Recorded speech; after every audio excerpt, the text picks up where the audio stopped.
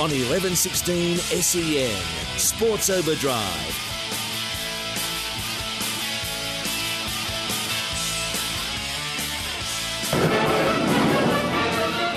Faster than a speeding bullet. More powerful than a locomotive. Able to leap tall buildings at a single bound. Look, up in the sky. It's a bird. It's a plane! It's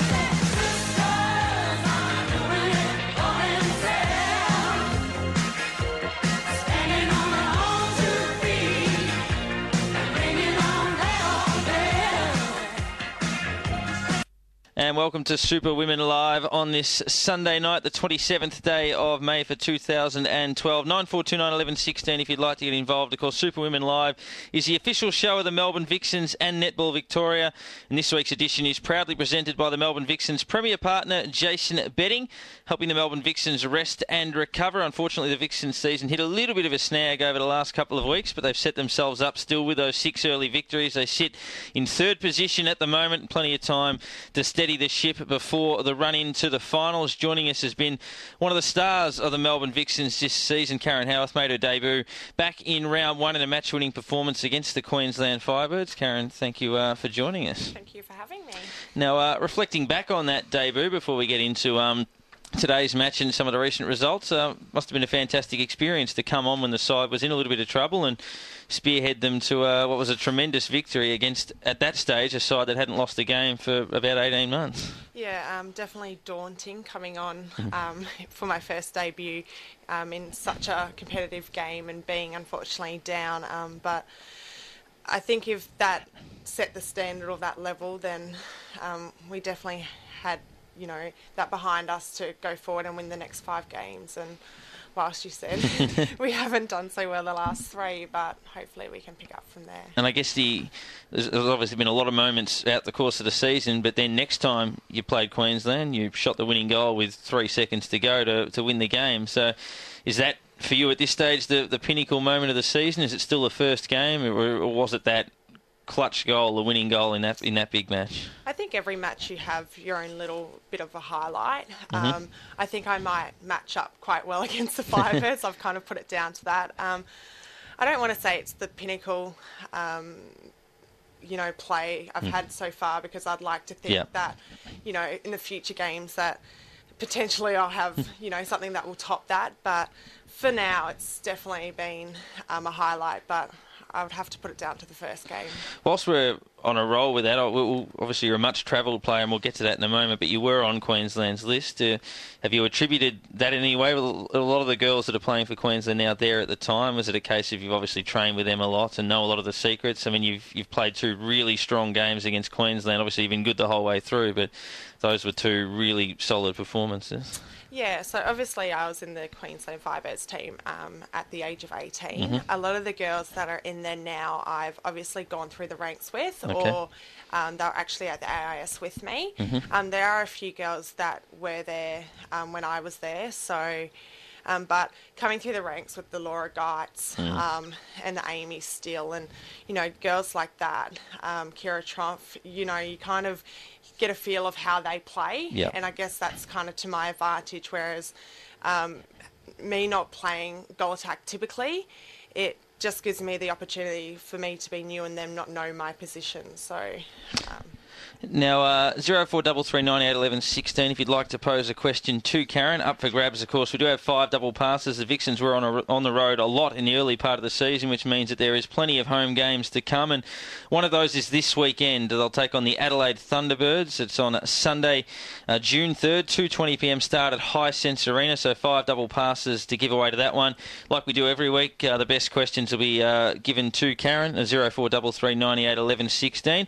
But we'll also kick things off with a uh, with a trivia question first and foremost. So the first person in off the SMS who answers this one correctly is also victorious. Going back to the 2008-2009 season when the Melbourne Vixens won the premiership. Uh, it's a very simple one for those that are Melbourne Vixens fans. 0433981116. Who did they beat in the grand final that season? So uh, SMS that through to us. 0433981116. Who did the Melbourne Vixens beat when they won their premiership in the 2008-2009 season? And the first answer through wins themselves a double pass. So shoot those through to us now. reflecting on the Swifts game, uh, unfortunately, second time in three weeks. Uh, they're in red hot form. They've won six in a row.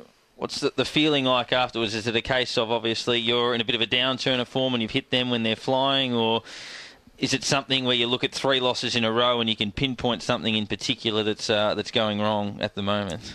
Um, that was it was a hard game today. There's no doubt about that. I think the positive in the last three games for us is that we've lost the games. Mm-hmm. Um, they haven't necessarily won it. Um, there was critical errors and mistakes made by every one of those players, mm-hmm. Um, including myself on court today, um, and there are definitely areas that we need to fix. Um, obviously, the feeling in the change room, like you said, is down. Uh, there's I don't know too many teams that are too happy when they've lost, so. Um, but you know, I think we're just going to change it up this week at training, and hopefully, you know, we can find the winning formula and we'll get back on a track. But um, I think the Swifts are definitely on a high at the moment, and you know, they they've won the last five games, so um, yeah, I think they're making their fast track. They are. We had three SMSs in a row get it wrong and say the Swifts, but we do have the correct answer, and it was the Adelaide Thunderbirds. So the uh, SMS. Uh, number ending in 896. You were the first to get that one right, so you can give us a call, number ending in 896, and you can head along to watch the Vixens take on the Adelaide Thunderbirds again this week. Of course, so the Swifts had won the flag the year before, Adelaide won the flag the year after, but Adelaide lost to the Melbourne Vixens in that particular grand final. So, congratulations, give us a call. Um, couple of people have asked this question a lot and haven't had the chance really to put it forward because the Vixens were winning a lot of games. What's Julie Hoornweg like uh, post loss? Is she one that's very calm and points out the things that have gone wrong? Can she occasionally rant and rave? Is she someone who will be forceful when she needs to be? What's her, uh, her I guess, modus operandi when things perhaps go awry? I think it really depends on uh, how the game was played. Mm-hmm. If we play a game and we've lost it, and as a team we've lost it like today. Mm-hmm. Um, she tends to, you know, I think she just gets a little bit emotionally upset because she has such belief in us yep. girls to do it.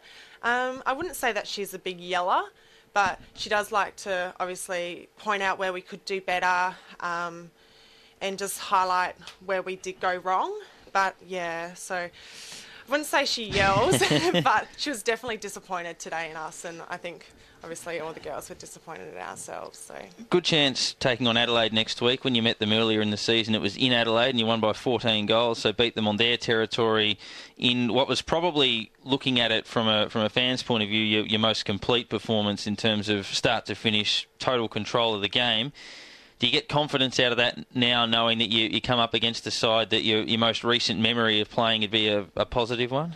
I'd definitely say that that game against the Thunderbirds was mm. definitely the best game that we have played this season. We had mm-hmm. a great start, and I don't think there was too many errors. Mm-hmm. Um, I think we match up quite well with them, and um, of course, it gives you a bit of confidence going into the game. But we know it's going to be tough. They don't, you know, we're fighting for the top four positions, and we're sitting on the same score as them, so we're out to win. Absolutely. Uh, zero four double three nine eight eleven sixteen. If you'd like to pose a question to Karyn, we've got another uh, another trivia question coming up very shortly. Now, looking at it from a personal point of view, this has obviously been the hot topic of, of netball over the course of the week, and we did touch on it last week, obviously with the chairlift manoeuvre. Speaking to a couple of defenders, who are obviously big fans. Unfortunately, you were uh, you and Tegan with a the victims, for want of another phrase, of this particular tactic. What are your thoughts on its place in the game? Some have questioned whether it should be legal. Uh, we saw, I was watching the West Coast Fever play the Queensland Firebirds today, and they actually tried it. The West Coast Fever didn't quite work. Uh, Susan Fuhrmann was the defender in that instance and couldn't quite get it to work. But is it something that you feel is has a place in the game, or I mean, it's, it's extremely difficult to execute, so you're probably not going to see it a lot. But what are your thoughts on the chairlift manoeuvre? I think, as my mum likes to put it, is that um, I've become famous for all the wrong reasons. Unfortunately, I'm kind of been splashed around uh, the image of me being rejected a few times. um, my thoughts on it is that obviously it's a very smart play um, to come up with a manoeuvre that's in the rules and is quite effective. You know that they pulled it on us four times and four times it came off effective. So uh, good on them. I don't know how long, obviously, it will last. Um, teams are a little bit more aware of it now and they're already coming up with strategies on how to beat it. But Um, being obviously on the other end of it, it's you don't actually notice it's getting set up in front of you until mm-hmm. you're kind of yeah. rejected. So. But yeah, good on him. I'll give him. I'll give him credit. Would you ever consider an attacking type chairlift where uh, the, the, the, attacking players lift each other up and basically not dunk because you can't touch the ring, but drop it down over the top of it and, and make it turn the tables on defenders in that way? I'd like to think that would be able to do it, but the problem is being the bigger girl, I'd probably have to pick one of the other girls up, and I'm, I don't think I'd probably be strong enough. So, uh, off the SMS, uh, number ending in 985, you can give us a call as well. Uh, what is Eloise Southby Halbish like as a coach? She was such a passionate player who could really fire up the team. Does she carry this into her coaching as well? Yeah, she's she's a very very passionate coach, and she's she's constantly telling us girls, you know, that um, you have to protect the other players and you know you need to have that fire and get out there and show me that inspiration. And so she, she's a very very passionate um, coach and she but at the same time I sort of look at her as a mentor. Mm-hmm. um, she constantly is telling me that I remind of her um, myself of her. So um, but yeah, she's she's a great coach, and we're very very lucky to have her on board this year. Must be a huge rap to hear that from, from someone with her standing in the game as oh, well. Absolutely, I, I'm more than happy to take that one. Now, um, a lot of lot spoken about the importance of partnerships in, in netball. Obviously, you've been able to step in straight away and have an impact alongside either Tegan Caldwell or Kate Beveridge. Uh, obviously, through that comes well, that's lengthy trainings involved in that as well. But uh, you seem to have been able to find a, a, rhythm with either of those players, depending on which ones are on the court at any given point in time. I think the good part about playing with Kate is that she understands that I'm not too familiar with the goal attack position. So mm-hmm. when I'm out there, she will do a lot of the work to ensure that, you know, I can focus on doing the defence and the attacking work in the centre third rather than so much in the goal third. Yep. Um, with Tegan, she's just so fast that she does the majority of the running, so it means that I can play my natural position in the shooter. So somehow we've managed to make it work, and I think that's just by realising other people's strengths. Um, and also obviously their weaknesses and making sure that we don't um, keep that one open for the defenders. Now, a few more in terms of your pathway as well. Uh, obviously, played netball in Darwin and represented Northern Territory under 17s, 19s, and 21. What's the pathways like in Darwin? Because we know they don't. The Northern Territory doesn't have, say, a rep side in the ANZ Championship. What's it like, I guess, in terms of participation and the opportunities available? Obviously, it's been able to lead you through to the AIS and Queensland and the Vixens and, and this sort of pathway. But how does it work, I guess, in, in Darwin, and how does that compare with you might have seen coming up through playing in Queensland and Melbourne? Um, definitely, obviously, being in Queensland and Melbourne, there's so many opportunities and so many pathways to develop your netball. Um, growing up in the Northern Territory, you don't really have those structures in place. So it means that you're in an institute of sport and you're constantly practicing your netball, but the only real competitions you have are the 17s, the 19s, the 21s, nationals. Um, lucky enough that obviously they did develop the ANL comp, so Northern Territory has been able to have a, um, obviously a team in that comp, but. Um, it's very, very hard being a player in the Northern Territory and trying to be um, you know, seen by selectors just for the mere fact that a lot of the time the selectors are looking at those higher teams such as Victoria or Queensland and New South Wales and the quality players that they have and being from the Northern Territory and a bit of a weaker team, mm-hmm. it's very hard to kind of, you know, be able to outshine those stronger girls. Now, a couple of SMSs here. Karyn, how much did playing in the ANL competition help you get noticed by ANZ Championship teams? And do you think it would be a good idea to increase the ANZ squads to 16 players like the old Commonwealth Bank Trophy days? Uh, yeah, I think obviously having a bigger squad means that any injuries or anything, there's always a substitute mm-hmm. player. It is quite um, tough, obviously, with 12 girls already. Yep. Sometimes you don't obviously there's five girls on the bench, so mm-hmm. they don't necessarily touch court um, in any particular game. So I think if you had a larger squad, it may be a little bit more harder to ensure that every girl is getting the amount of court time or the experience that they need. Um, in regards to playing ANL, I believe that that was great for me just for the mere fact that I'm predominantly a goal shooter and I've never mm-hmm. played mm-hmm. goal attack. So playing for Fury for the last three years has given me that opportunity to sort of get that experience at goal attack under my belt. And whilst I still have a fair way to go in regards to sort of learning the structures of the game. It sort of gave me a bit of a step into the Vixens because not only as I if I'm seen as a goal shooter, but I'm also seen as a goal attack now. Now, uh, if you're listening closely, Karyn's given the answer there, so hopefully you were paying attention. Now, the, the, second of our trivia questions is what is the name of Victoria's side in that particular competition? Now, she has given that away. If you can get that one right, 0433 98 11 16 in the ANL. What is the name of the Victorian side? Obviously, we know the, the Melbourne Vixens in the ANZ Championship. What is Victoria's side known as in the uh, in the ANL, the second tier development competition coming through? 0433 98 11 16. The first correct answer wins a double pass as well. Now, in a moment, we'll go through our uh, usual introductory questions as well, but a couple of others. Uh, you're one of seven girls in the family, so that's enough for your own netball side. Uh, any other netball stars amongst the ranks? Uh, when I was growing up, one of my older sisters was a netballer. She was actually a defender, so it became quite handy in the backyard. I'd put mm-hmm. up the shots and she'd defend me. But um, no, she didn't continue it on. I tend to, well, I obviously got the height in my family. Um, there's no one else over six foot, so I don't know how that one happened. so I must have taken all the height. But um, no, no other netballers, just me. Well, my, my, brother's got red hair, and I no idea where that came from. It's nowhere else in my family. We had a dead heat on the answer. It was the Fury straight away. So two people have got that. Number ending in 635, Anonymous, give us a call. And also Denise, number ending 563. You both locked that one in at exactly the same time. So, uh, give us a call and you can both head along to that one as well. Uh, that's the Adelaide Thunderbirds uh, this weekend, so you want a double pass to that one. 220 at Hisense Arena. Now, uh, one other one here, as we said, you, you're much travelled having played in Queensland and Darwin, obviously with the AIS as well, and with Melbourne. They call Melbourne the sporting mecca. Have you found it to be that way? Has it been an eye opener how intense it is here in Melbourne? Yeah, that's pretty much that answer. no, um, Melburnians certainly love their sport. Um, being from the Northern Territory, we mm-hmm. tend to follow rugby. Um, come to Melbourne and you follow everything, but they certainly love their footy here. So well, that gets us gets me onto the first of our introductory questions. Uh, have you spent enough time in Melbourne to have adopted an AFL team?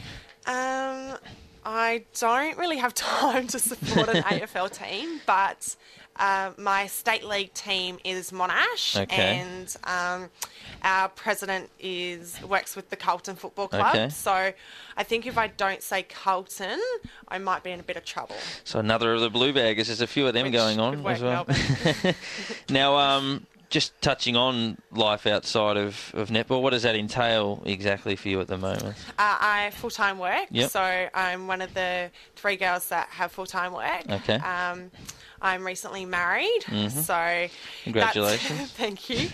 so that pretty much is my life. Okay. I go to work. Mm-hmm. Um, so my morning tends to start at 5:30 in the morning. Go to work from seven to three, then go to training and back home to hubby who cooks me beautiful dinner and does all the housework. Fantastic. Yeah. Now, on obviously having all of those busy commitments, I know she had knee surgery in the pre-season. How much of a setback was that? Is that something you still have to manage now, or was that just something that was taken care of then, and now you're 100%? Yeah. So I just had a arthroscope on my yep. knee. I had a bit of cartilage floating in there from the season before. Um, we had quite an extensive rehab period, but I was lucky enough that when I got it done in November that I was back before pre-season training had sort of commenced. So whilst every now and then it will flare up in regards to just being a bit inflamed, yep. it's not actually structurally too bad. Um, we manage it, but in regards to loads and stuff, I'm on a full training load. So yeah. And uh, this one we also ask if you had the chance to trade netball skills for any other sport. Is there another sport you would would, would have loved to have played at the elite level had you have had the opportunity?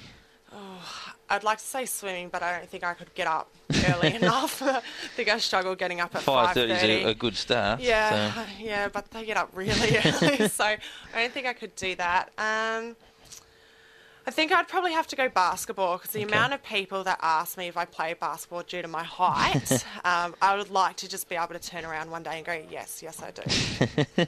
Maybe you can. Anyway, yeah. uh, favorite movie?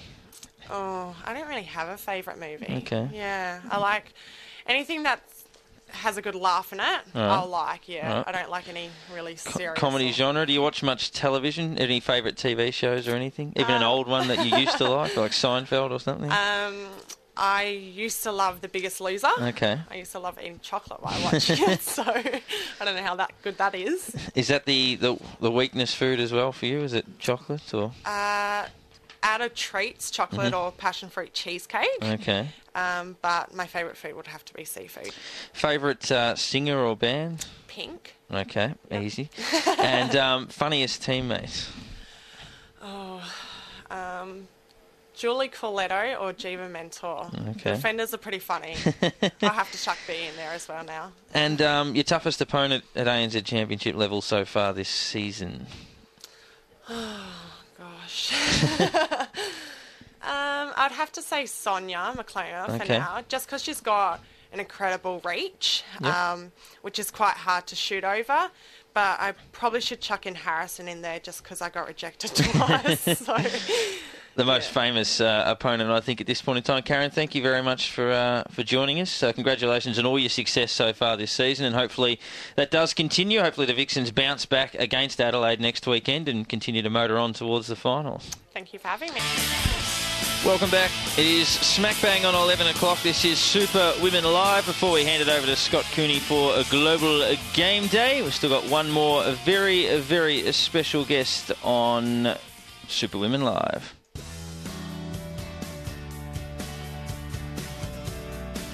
Time now on Super Women Live to check in with the captain of the Melbourne Vixens, Bianca Chatfield. We uh, had her in the studio last week and she's been good enough to give us a little bit of her time. Bianca, thank you very much for joining us. No problems at all. Wish it was on a happier note. Well, I guess on that, we, we spoke last week about uh, a couple of losses in a row. Unfortunately, now we're, we're speaking about three. Is there now something of a pattern that you think that is emerging that is, is perhaps a, a reason why the form is the way it is at the moment? Well, I'm not sure if I can really put my finger on what the reason is, um, but it's definitely the pattern is emerging that we're trying to fight pretty hard to get ourselves out of. Um, just the, the energy and the momentum out there on court that we had in the first six rounds is just not there at the moment. And it's probably the, the old saying that, you know, if we knew what it was, we would fix it straight away. So, yes, we are, you know, talking about it, trying to come up with, you know, anything and everything that we can and we try to make sure we put these three games behind us and move forward in more of a positive way. Looking at, I mean, there has been one exception to this. I think it's when the Swifts beat you a few weeks ago, but generally it's been starting reasonably sluggish and then fighting back. Uh, spirit of the last quarter, getting within a couple, crowd sort of up and about. Got over the line against the Magic, got over the line against Queensland, but just over the last couple of weeks haven't been able to do so. Has there been anything pinpointed in regards to even starts to games? Is it something where perhaps due to the, even the versatility in your structure that sometimes it's hard maybe to get it exactly right from the word go? Yeah, although we probably look at our versatility as more of a positive. In previous years, we've had a set seven and haven't really been able to make any wholesale changes. Um, where it's refreshing this year where we can mix it around, and especially for the defence end, we can put you know the three of us in all different positions and and hopefully get over the line um, against our opposition. So, yeah, our starts are certainly a concern. We've you know tried changing our warm up. We did a little bit of extra stuff um, before we were called out onto court today, and um, yeah, I, sometimes I think you when you do lose though, you do overanalyze things, and it becomes you know too many opinions and too many voices. And rather than you know what it's probably just as simple as it's just getting out there and playing and playing with that energy um, that we know um, we can. Is it also a case, perhaps, of the competition being so even that if a side is 5% off for, for whatever reason, that's all it takes? I mean, the Swifts lost their first three games, I'm pretty sure, and have lost certainly their first two, and have got on a roll winning six in a row. And the Mystics have jumped to the top of the ladder, and two weeks ago they got smashed by Queensland. Uh, you guys obviously belted the Thunderbirds, but they've been travelling along very nicely. Does it perhaps just give a demonstration that the competition is so tight that the slightest slip up and, and essentially anyone beats you? That's right. And this year it's pretty, I mean, not uh, exciting um, for the teams, but exciting for the crowds. And we've had record crowds in Melbourne. So I presume that the strength of the competition is growing. Um, And that's exciting for the game. But, you know, for us as a team, it is hard. There's no easy games. And we certainly have a tough um, road um, towards the finals and that we have to come up against Adelaide next week, which, you know, that, that game is, I think, going to be a massive decider for us. Uh, it will certainly determine, I would imagine, our finals position. Um, and then we still have to play Fever and then go over to New Zealand for a week and play Steel and Pulse, who are by no means going to be easy at all on their home territory over there. So yeah, it, it's going to be tough, but I think we, if we're going to be premiership contenders, mm. we hmm. need the tough games now, and we need to be able to know that we can get over them, so that when we come to the finals and it's do or die, that we know we have it in us to come through and win those games. Well, Adelaide is certainly a, potential finals opponent. And do you look back now with confidence, obviously beating them by 14 goals last time you played them? We know that the, the Swifts are, are in red hot form and have been a bit of a problem matchup for some sides, but at least as a group you can reflect back and say, look, last time we went to Adelaide and, and they held no fears for us and we won that game quite convincingly. That's something you might be able to call on from a confidence point of view this week? Definitely. Um, you can probably look at it in two ways. Like, firstly, would definitely be not for motivation, but mm. just for that watching it and that great feeling. I think that was the best game that we've played all year yeah. against Adelaide. Um, the energy out on the court, the the calmness. It was a really amazing um, feeling from everyone that was out there. Uh, and you know, we do need to replicate that. So rather than focus on all the negatives, it's about the positives and let's have a look and, and that feel um, good feeling, I guess, that we had when we are over there. We just need to to harness that and to remember how good it was because it's there. It's just a matter of just kind of igniting that fire and getting it going. And just a couple more before we let you go. I know last week we spoke about the the difficulties perhaps of adapting to, to a lot of different positional changes and these sorts of things. Uh, you mentioned the three girls that play in defence have, have, rotated around wing defence, keeper, goal defence, and I could be wide of the mark with this, but I think watching you play most of the season, I think you've generally started in the, the running positions, generally goal defence or wing defence, starting at keeper today. Obviously, a Swift Susan Pratley, a, an Australian player in the past, and certainly been a, a, a, teammate over the years. Was it sort of different going into that mentality from the start of a game as a keeper? Because I mean, as I said, I could be wrong, but I think you've started at goal defence most of the time. Yeah, I have started out most of the time this year, but I mean, goalkeeper is a position that I've probably mm. played my entire career at. It's only been the last few years that I've played yep. out, so. For me, I was hoping that it would be um, kind of back to my comfort zone and back to where I know best how to play. And um, yeah, unfortunately, you know, we got a few turnovers, but we didn't get enough down our end in that first half. And um, yeah, I, I, you know, at this level and at my age and experience, I have to be able to adjust no matter where I'm playing. So.